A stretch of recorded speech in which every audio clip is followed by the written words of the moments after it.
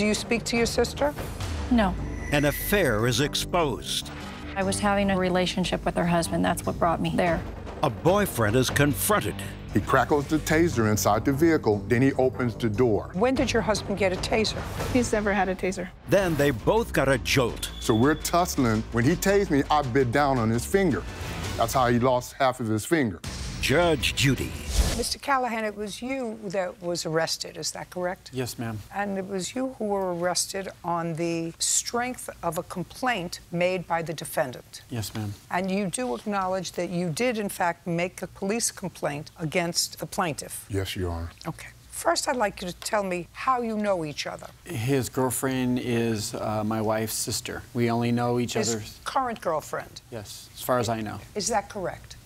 Yes. Is this your girlfriend? Yes, that's my girlfriend. And you two are sisters? Correct. And how long has she been your girlfriend? About three years now. We also have a kid together. Would it be a fair statement, Mr. Smith, that sometimes your relationship has its high moments and low moments? Yes, that's correct. And I'm reading the complaint and the answer, and the complaint and the answer suggests to me that it was during one of those bad times that you and Mr. Callahan got into an altercation. That's correct. And what period of time was that?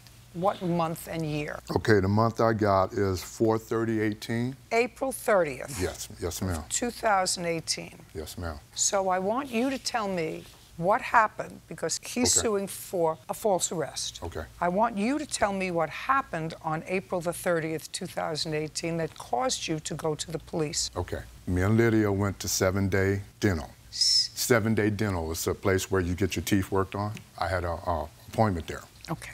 We were having a little spat, okay? So I asked her to leave because she was causing a scene at the dentist place. Okay, so you were arguing at the dentist. Yes. Okay, so after mm-hmm. that, Timothy lives up the street, like a block away from the seven day thing. So she walked over there, okay? To the plaintiff's house. to his place, okay? So by this time, I'm still trying to do the process with the dental thing. So he didn't take me because my blood pressure was up because we had been arguing. So he said, well, you know, we're gonna have to send you off. You come back when your pressure is down, okay? Because he didn't want to work on me. So I go home, I'm pulling up to my driveway. His vehicle is blocking the driveway and he's sitting in the car. So I politely got out and walked over to his window and asked him to move out on the street because he's blocking the driveway. He said Just a said, second. So far, is it correct that your wife's sister came to your home on the 30th of April? Yes. And did she speak with you on 30th of April? Yes, she did. Did she complain that she and the defendant had had an argument? Yes. I want you to tell me what she said to you. She just. No, look over here. Sorry. Out of here. Sorry, ma'am. Now look over here.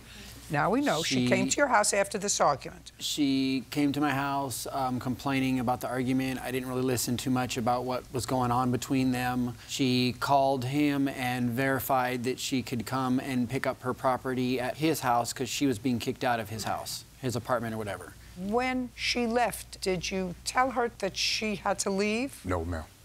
Okay. Stand up. Did you tell Mr. Callahan that you had to pick up your things? Yes, I did. And did he assist you by taking you in his car? Yes, he did. And when he pulled up in his car, was your boyfriend at home? That's correct. Yes, he no, was. no. No. When he pulled up in his car, was your boyfriend at that moment home? Or did he come home afterwards? He came home afterwards. And Mr. Callahan's car was blocking the driveway. Yes. Good. Now you can sit down. What happened next? Okay. I walked over to his driver door. I asked him to park out on the street because he's blocking the driveway. His response is, "Who in the you?" He grabbed his taser. He crackled it inside the vehicle.